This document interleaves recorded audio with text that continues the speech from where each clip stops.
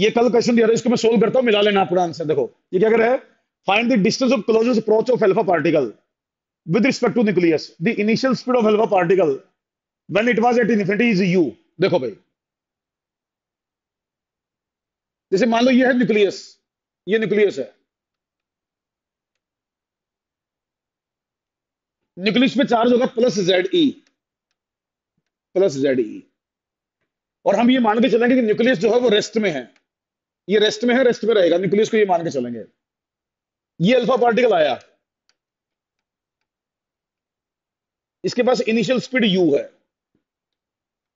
Alpha particle का charge होता है प्लस टू ई अल्फ़ा का चार्ज प्लस टू ई होता है। इसके ऊपर भी पॉजिटिव चार्ज है न्यूक्लियस के ऊपर भी पॉजिटिव चार्ज है। जब ये अल्फ़ा पार्टिकल न्यूक्लियस के नज़दीक आएगा, जब ये अल्फ़ा पार्टिकल न्यूक्लियस के नज़दीक आएगा तो न्यूक्लियस इसको रिपेल करेगा।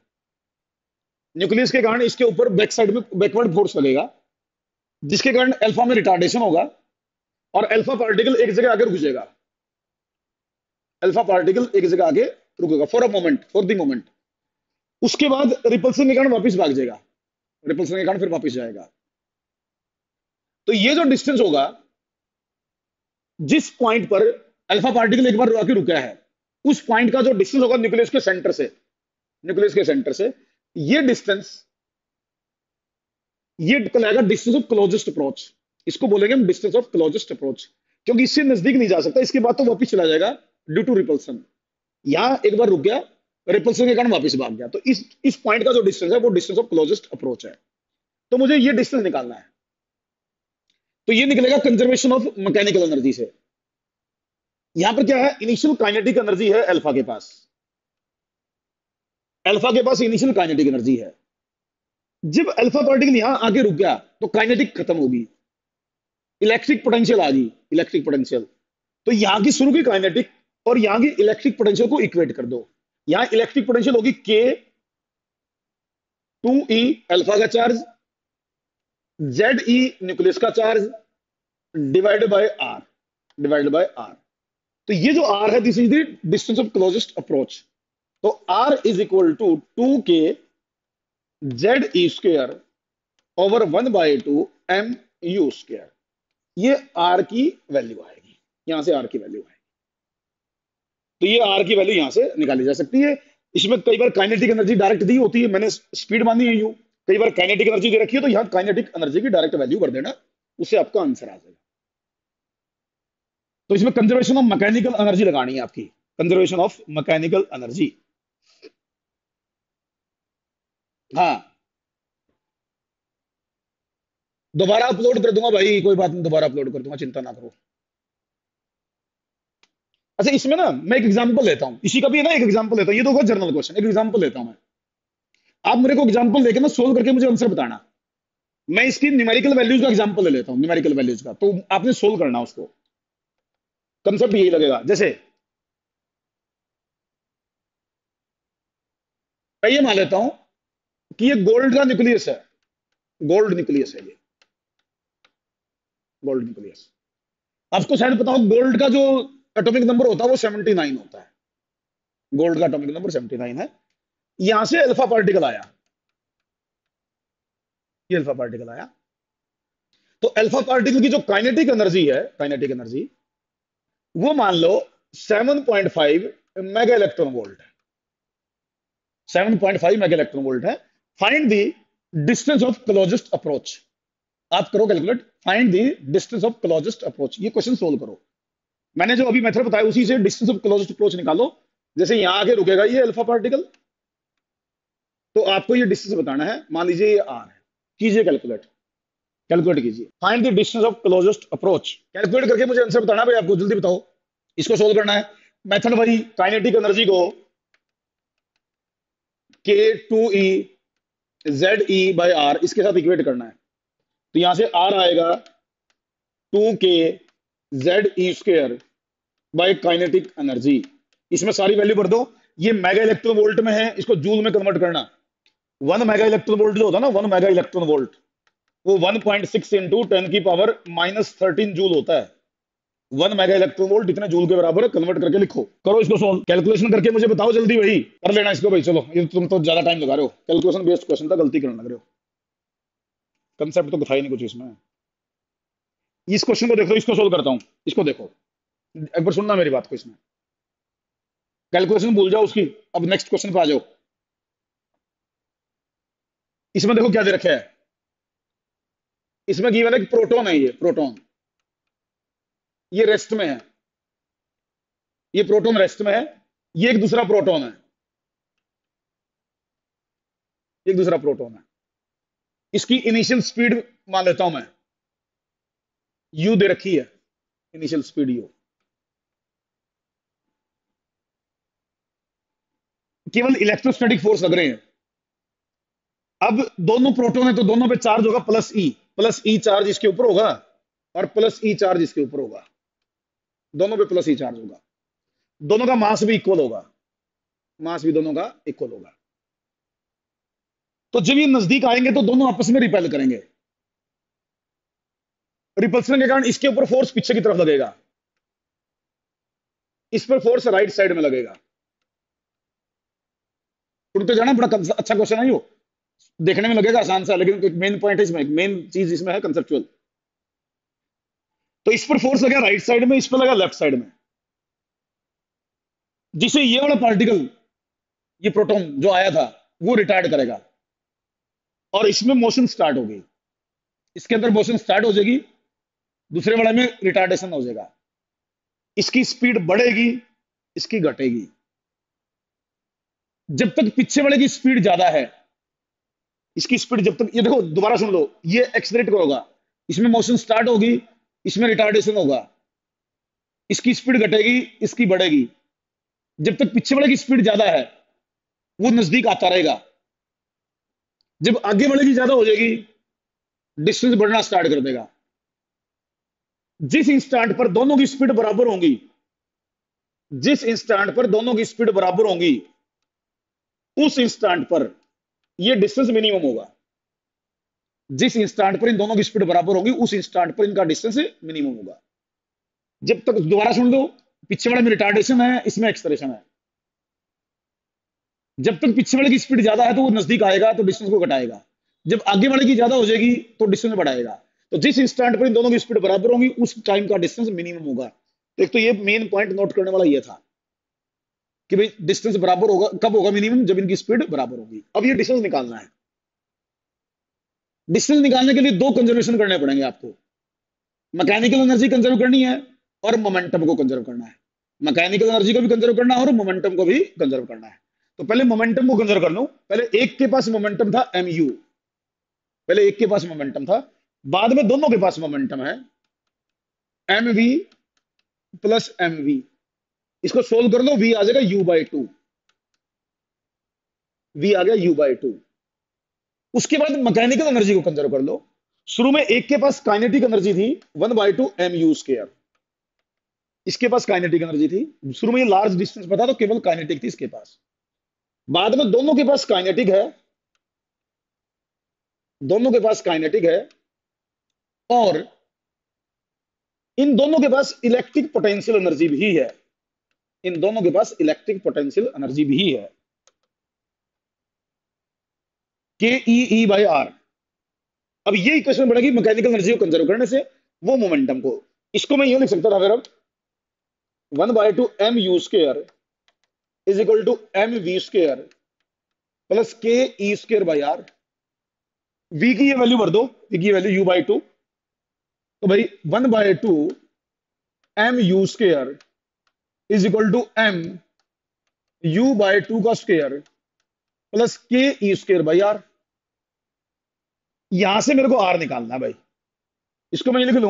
One by two m u square minus one by two m u square by four is equal to k e square by r तो m u square by four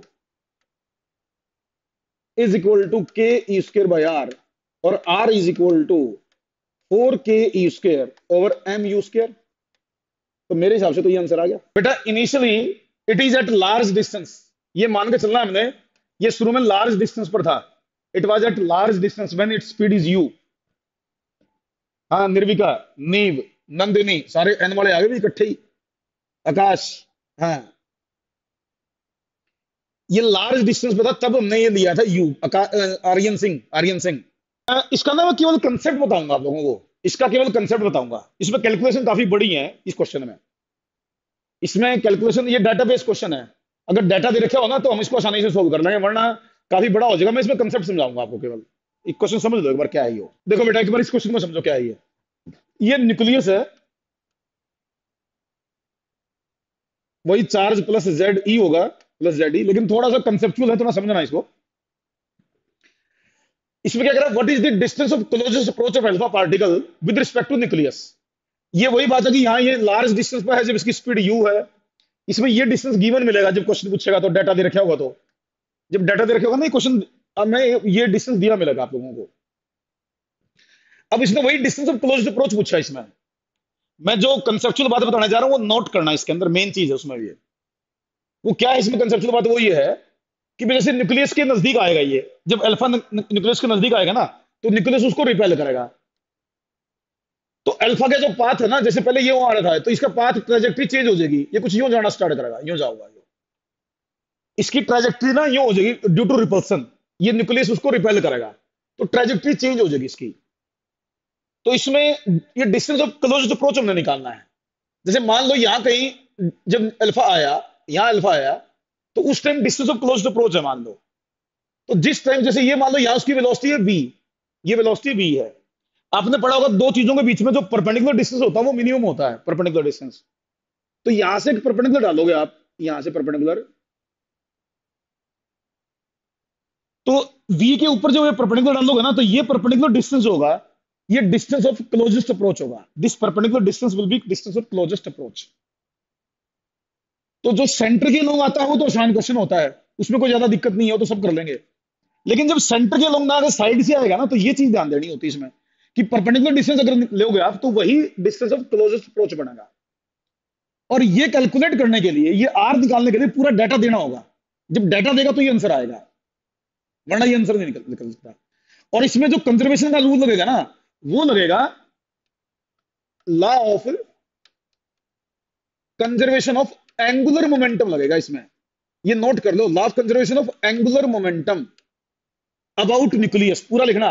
Law of conservation of angular momentum about nucleus आप apply करोगे इसको। Nucleus के about angular momentum को conserve होगा linear momentum नहीं angular momentum conserve होगा about nucleus तो इनिशियल एंगुलर मोमेंटम जो होगा ना initial angular momentum initial angular momentum होगा m u b m u b ये बी दिया मिलेगा। फाइनल एंगुलर मोमेंटम होगा m v r final angular momentum m v r होगा initial angular momentum m u b होगा, और इसको आप इक्वेट करके फिर ये आंसर निकालोगे भाई। तो m v r is equal to m u b इससे आपका आंसर निकलेगा जब डाटा दिया होगा तो। ये नोट कर लेना इसमें। ये मेन पॉइंट है इस क्वेश्चन का। अगर ये साइड से अल्फ़ा पार्टिकल आता है तो। सेंट्रल लाइन के लोग ना आगे, अगर साइड से अल्फ़ा पार्टिकल आए तो कैसे सोल्व करोगे वो बता रहा हूँ भाई। अच्छा इसमें एक क्वेश्चन और चेंज हो सकता है। एक क्वेश्चन और चेंज किया जा सकता है इसमें। जैसे इसमें तो न्यूक्लियस और अल्फ़ा दोनों रिपेल कर रहे हैं, दोनों पे पॉजिटिव चार्ज है। अट्रैक्शन वाला क्वेश्चन भी दिया जा सकता है अट्रैक्शन वाला भी। वो भी देख लो, वो भी लिख रखा है मैंने। ये नोट कर लो, किसी बच्चे को समझ में आया? मैंने एंगुलर मोमेंटम अबाउट न्यूक्लियस क्यों कंजर्व किया? कोई बच्चा मुझे रीजन समझा सकता है, लिख के बता सकता है कि मैंने angular momentum about nucleus conserve क्यों किया? इसका कोई रीजन लिख के दे सकता है मुझे? जिसको समझ में आया, वो रीजन तो वही देगा। तो ये तो ऐसे मान लेंगे हाँ जी मोमेंटम कंजर्व करना है। क्यों कर किया मैंने? कोई रीजन दे सकता हो तो बताओ। लिख के बताओ, मुझे पता चलेगा भी समझ में आ रही चीज़ें। बेटा, मैं समझाता हूँ। यहाँ टॉर्क अबाउट न्यूक्लियस ज़ीरो है। टॉर्क अबाउट न्यूक्लियस ज़ीरो है भाई। न्यूक्लियस के अबाउट टॉर्क ज़ीरो है। Torque about nucleus is zero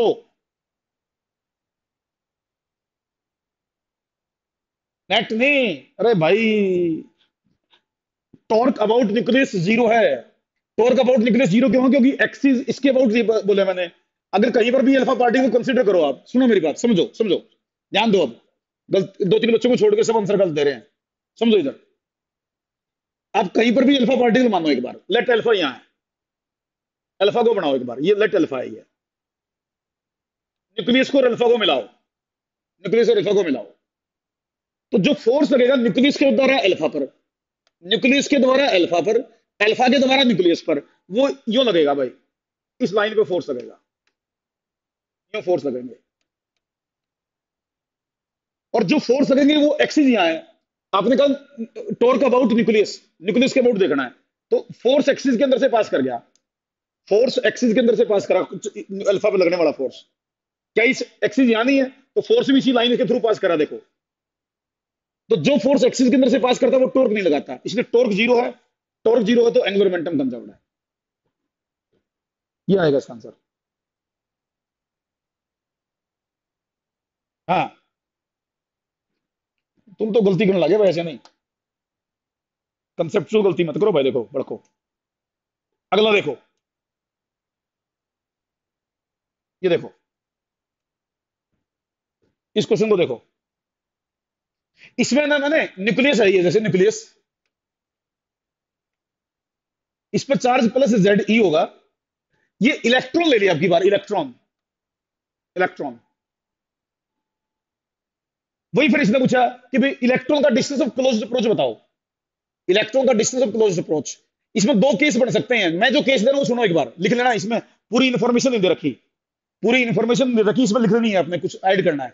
आपने ये करना है nucleus electron will not fall in the nucleus this is given electron will not pass sorry fall in the nucleus ये लिख लो इसके साथ. Electron will not fall in the nucleus ये नोट कर लेना. ये इसमें पूरी इंफॉर्मेशन दे रखी है. ये साथ में लिख के फिर क्वेश्चन सोल्व होगा. तो हम ये मान के चलेंगे कि इलेक्ट्रॉन न्यूक्लियस के अंदर गिरेगा नहीं. फिर उसके हिसाब से आंसर देना अपना तो इसमें पता क्या होगा? इलेक्ट्रॉन को न्यूक्लियस अट्रैक्ट करेगा. इलेक्ट्रॉन को न्यूक्लियस अट्रैक्ट करेगा तो न्यूक्लियस की इलेक्ट्रॉन की जो ट्रेजेक्टरी यूँ हो जाएगी. इलेक्ट्रॉन यूँ आएगा। इलेक्ट्रॉन इसके अंदर गिरेगा नहीं, लेकिन यूँ आएगा। तो इसका डिस्टेंस ऑफ़ क्लोज अप्रोच कहाँ होगा? वही परपेंडिकुलर डिस्टेंस जैसे ये v and this is r तो जहाँ ये परपेंडिकुलर होंगे, वही डिस्टेंस ऑफ़ क्लोज अप्रोच बनेगा। तो कंसेप्ट वाइज फ़र्क नहीं है, लेकिन ट्रेजेक्टरी चेंज हो जाएगी। अब की बार इलेक्ट्रॉन पर अट्रैक्शन होगी, वो यूँ जाएगा। आपको ये मान के चलना है कि इलेक्ट्रॉन के पास इतनी स्पीड है। इलेक्ट्रॉन को इतनी स्पीड गिवन है कि वो न्यूक्लियस में गिरेगा नहीं, ये लिख देना कंडीशन अगर ये कंडीशन नहीं लिखोगे तो आंसर ज़ीरो भी हो सकता है, क्योंकि इलेक्ट्रॉन न्यूक्लियस के अंदर फॉल भी कर सकता है ड्यू टू अट्रैक्शन लेकिन आपने ज़्यादा स्पीड दे रखी है, वो उसको क्रॉस करेगा। This is mention in this question इसके हिसाब से क्वेश्चन सोल्व कर रहे हैं हम। कंसेप्ट वही m b r is equal to m u b और यहाँ से आर निकल जाएगा। ये क्वेश्चन समझो एक बार, देखो। इस क्वेश्चन को देखो, बड़ा अच्छा क्वेश्चन है ये भी। बहुत ही अच्छा क्वेश्चन है भाई नोट करो एक बार। ये कह रहा find the escape velocity of minus q nought charge मैं समझाता हूँ इसको। ये एक स्फीयर है, एक स्फीयर है। इस पर चार्ज है क्यू इस स्फीयर की रेडियस है r radius of sphere is r ये माइनस क्यू नोट जो है ना, इसके सरफेस पर रखा हुआ है। माइनस क्यू नोट सरफेस पर रखा हुआ है। ये कहता भी हमें इस माइनस क्यू नोट को इन्फिनिटी पे भेजना है। माइनस क्यू नोट को इन्फिनिटी पे भेजना तो इसकी एस्केप स्पीड बताइए एस्केप स्पीड इलेवंथ में पढ़ते थे एस्केप वेलोसिटी का मतलब है इन्फिनिटी पे भेजने की मिनिमम वेलोसिटी एस्केप वेलोसिटी का मतलब था इन्फिनिटी पे भेजने की मिनिमम वेलोसिटी तो वही इससे हमने पूछ, हमारे से ही पूछ रहा है। तो जैसे मान लो यहाँ इन्फिनिटी है ये लेट दिस इज़ इन्फिनिटी बाकी ध्यान रखना इन्फिनिटी को मार्क नहीं कर सकते आप, समझाने के लिए मैं इन्फिनिटी दिखा रहा हूँ। बाकी इन्फिनिटी नहीं पता होता कहाँ है।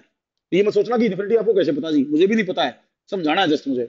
तो मान लीजिए हमने इसको इतनी वेलोसिटी दे दी कि इन्फिनिटी पे चला गया। और वहाँ जाके इसकी वेलोसिटी ज़ीरो होगी। अगर मैं मिनिमम स्पीड पूछ रहा हूँ तो वहाँ को इन्फिनिटी की वेलोसिटी में ज़ीरो मानूँगा। तो वो मुझे निकालनी है। अब क्वेश्चन का कंसेप्ट क्या लगेगा, वो हमने देखना है। कंसेप्ट सेम आपका law of conservation of mechanical energy लगेगा। आप क्या करेंगे, यहाँ की टोटल एनर्जी निकाल लेंगे, यहाँ की टोटल एनर्जी निकाल लेंगे, और यहाँ की टोटल एनर्जी निकाल लेंगे। इनिशियल टोटल मैकेनिकल एनर्जी और फाइनल टोटल मैकेनिकल एनर्जी को इक्वेट कर देंगे। मुझे फाइनल टोटल एनर्जी तो ज़ीरो दिख रही है। फाइनल टोटल एनर्जी ज़ीरो है, क्योंकि इन्फिनिटी पर ना काइनेटिक है, ना पोटेंशियल है। इनिशियल टोटल एनर्जी और देख लेता हूँ। इनिशियल काइनेटिक भी है और पोटेंशियल भी है। इनिशियल काइनेटिक और पोटेंशियल दोनों है। यहाँ की काइनेटिक भी ले लो पोटेंशियल भी ले लो। यहाँ टोटल एनर्जी ज़ीरो है। फाइनल एनर्जी और इनिशियल एनर्जी को इक्वेट कर दो। तो यहाँ से मेरा आंसर आएगा one by two m u square minus k q q nought over r equal to zero last conservation को मैकेनिकल एनर्जी पर लगा दो। One by two m u square मैं कई बार कई सारे क्वेश्चन करवा चुका हूँ आपको अभी तक। मेरे हिसाब से तो कंसेप्ट क्लियर हो जाना चाहिए अब आपका। तो u square is equal to two k q q nought over m r और u is equal to root of two k q q nought over m r. ये एस्केप वेलोसिटी आ जाएगी भाई। This is escape velocity same question ना eleventh में करते थे gravitation में। सेम क्वेश्चन ग्रेविटेशन में करते थे, किसी मास को भेजना था हमने इन्फिनिटी पर। उस मास की जगह चार्ज आ गया बस। मास की जगह चार्ज आ कॉन्सेप्ट वाइज कोई चेंज नहीं है। कॉन्सेप्ट वाइज सेम है। चलो, अगर ये कर लिया है तो एक और देख ले। कंसेप्ट समझ में आया होगा, आसान है, कोई मुश्किल तो नहीं भाई। यहाँ की टोटल एनर्जी देख लो और यहाँ की टोटल एनर्जी देख लो। दोनों को इक्वेट कर दो आंसर आ जाएगा आपका। अब ये उल्टा क्वेश्चन पूछ रहा हूँ मैं आपसे। उल्टा क्वेश्चन देखो। अब मैं क्वेश्चन को चेंज कर रहा हूँ। क्वेश्चन को चेंज कर रहा हूँ, भाई। कंसेप्ट को चेंज नहीं कर रहा, बस पूछने का तरीका बदल रहा हूँ। कंसेप्ट वही। Same concept law of conservation of mechanical energy अब ये कह रहा कि मैंने ये चार्ज इन्फिनिटी से छोड़ दिया। जस्ट फ्रॉम इन्फिनिटी मैंने ड्रॉप कर दिया। ये मान लो इन्फिनिटी है। यहाँ इसकी वेलोसिटी ज़ीरो थी इनिशियल ये नीचे आएगा। तो जिस टाइम ये चार्ज स्फीयर पर टकराएगा, उसकी स्पीड बताओ। उस टाइम इसकी स्पीड बताओ। जिस टाइम ये स्फीयर पर टकराएगा, उस टाइम इसकी स्पीड बताओ। तो सेम क्वेश्चन है। अब क्या करोगे? Initial energy zero initial energy zero final यहाँ की energy one by two m v square minus k q q nought by r यहाँ फाइनल होगी काइनेटिक और पोटेंशियल दोनों। यहाँ ज़ीरो होगी। इक्वेट कर दो। U final is equal to u initial same answer आ जाएगा. One by two m v square minus k q q nought by r equal to zero और देखोगे तो v is equal to two k q q nought by m r का root ये answer आ जाएगा. Same answer आ जाएगा. बिल्कुल सेम बिल्कुल भाई, आर्यन. ये थोड़ा चेंज कर दू क्वेश्चन को? ये देखो भाई, इस क्वेश्चन को देखो, इसको देखो, इसको तुम सोल्व करो. तुम करो सोल्व मैं नहीं करता इसको. इसको मैं सोल्व नहीं करने वाला। ये तुमने सोल्व करना है। और अब की बार फिर ये इन्फिनिटी से ड्रॉप किया। अब की बार, देखो क्वेश्चन समझो क्या? अब की बार ना इसमें होल बना रखा हमने। स्फीयर में होल बना रखा है। तो जब ये स्फीयर के सेंटर पे पहुंचेगा ना स्फीयर के सेंटर पर तो इसकी स्पीड बतानी है। स्फीयर के सेंटर पर स्पीड बतानी है। ये तुम सोल्व करोगे। मैं इसको सोल्व नहीं करने वाला। इस ओल के थ्रू ये स्फीयर में गिरेगा तो जिस स्फीयर के सेंटर पे पहुंचेगा तो स्पीड बताओ। बताओ इसकी आंसर तो बताओ भाई। देखते हैं कितने बच्चे आंसर देते हैं। इस क्वेश्चन का आंसर वही आएगा जो से पहले वाले का है। इस क्वेश्चन का सेम आंसर आएगा जो यहाँ पर स्पीड थी वही स्पीड यहाँ पर भी होगी। सेम वही आंसर आएगा under root two k q q nought over m r same answer आएगा अब ये कंसेप्ट सेम क्यों आया? अब इसका कंसेप्ट समझो आंसर सेम क्यों आया? जो स्पीड यहाँ पर वही स्पीड यहाँ पर क्यों आई? रीजन बताओ। रीजन ये है कि अंदर इलेक्ट्रिक फ़ील्ड ज़ीरो है। अंदर इलेक्ट्रिक फ़ील्ड ज़ीरो है। तो जब ये चार्ज पार्टिकल अंदर चलेगा तो अंदर तो कोई फोर्स लगेगा ही नहीं। अंदर कोई फोर्स नहीं लगेगा तो ना स्पीड घटेगी, ना बढ़ेगी। अंदर जाने के बाद ना स्पीड घटेगी, ना बढ़ेगी क्योंकि फोर्स ही नहीं लग रहा अंदर तो। यहाँ तो अट्रैक्शन हो रही है यहाँ तो ये स्फीयर अट्रैक्ट कर रहा है इसको। अंदर जाने के बाद कोई अट्रैक्शन नहीं, कोई रिपल्सन नहीं। तो जो स्पीड यहाँ तक अचीव कर ली, वही अंदर तक, वही अंदर तक रहेगी, ना घटनी ना वो बढ़नी। ये कारण उसके पीछे। ये क्वेश्चन देखो एक बार, इस क्वेश्चन को देखो एक बार, इसको देखो आप एक बार। इसका कंसेप्ट समझाता हूँ पहले मैं। क्वेश्चन समझो पहले क्या है ये? देखो, इस पर चार्ज है क्यों इस पर क्यों चार्ज है। इसकी रेडियस आर लूँगा मैं आर और आर ही डिस्टेंस लूँगा मैं सेंटर से।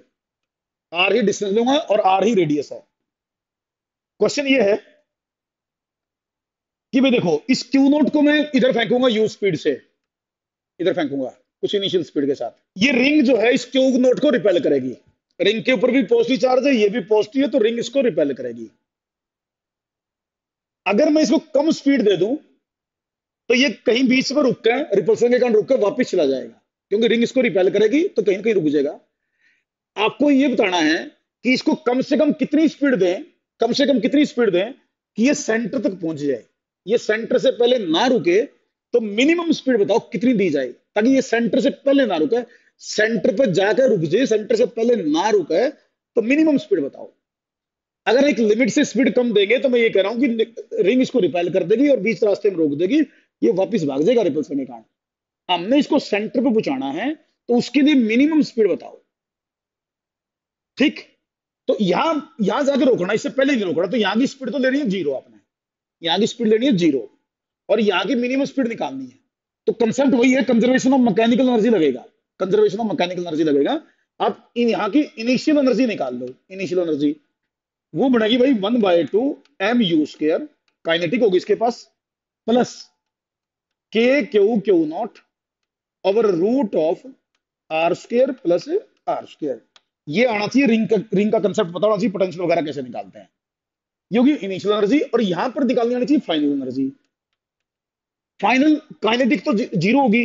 रुक गया यो पोटेंशियल बनेगी k q q nought q q nought capital है बाय आर बाय आर ये फाइनल एनर्जी है, ये इनिशियल इनको इक्वेट कर दो। फाइनल और इनिशियल को इक्वेट कर दो आंसर आ जाएगा। One by two m u square plus k q q nought yoga root two r equal to k q q nought by r इसको सोल्व कर दो आंसर आ जाएगा। ठीक है बेटा, बाकी क्वेश्चन कल करते हैं फिर। बाकी क्वेश्चन कल करते हैं। आज क्लास यहीं रोक रहे हैं, कल मिलते हैं बेटा।